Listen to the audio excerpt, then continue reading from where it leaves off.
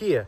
They've been around North America since the 1980s. Guys, Kia is changing the way North American car manufacturers operate. The pricing, the styling. Are you ready? Because I'm ready to take a look at this 2020 Kia Niro. I love what they've done here. You got your tiger nose grill, a little bit of a non-functional vent here. So we're gonna zonk that. You've got your LED day running lamps, fog lights, headlights, and of course, this is the FE, fully electric.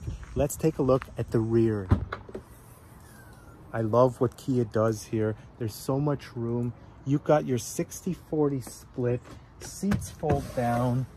You could put a mountain bike, maybe even two back here. But are you ready? Because I'm ready to take you inside the 2020 Kia Niro FE. All right, guys, we're inside the 2020 Kia Niro FE.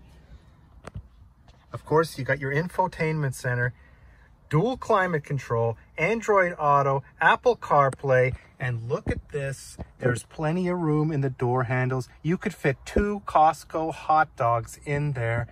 And what do we have here? heated seats, two cup holders, you got your gear shift, and look at this.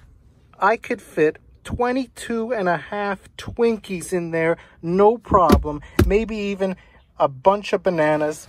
Look at this. There's all kinds of room in the back. Plenty of headroom. I feel like a king in the Kia Niro 2020 FE.